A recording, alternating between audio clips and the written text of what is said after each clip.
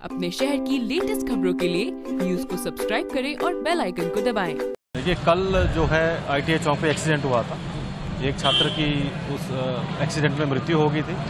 उसके संबंध में आज ये सुबह बच्चे इकट्ठे हुए।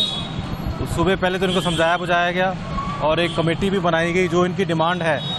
जो मुख्य डिमांड थी बस रोकने की या बस की संख्या बढ़ाने की तो उसके बारे में बात की गई। लेकिन कुछ शरारती तत्व थे बीच में जिन्होंने इनको भड़का के और इनको जीटी रोड जाम करने के लिए उकसाया।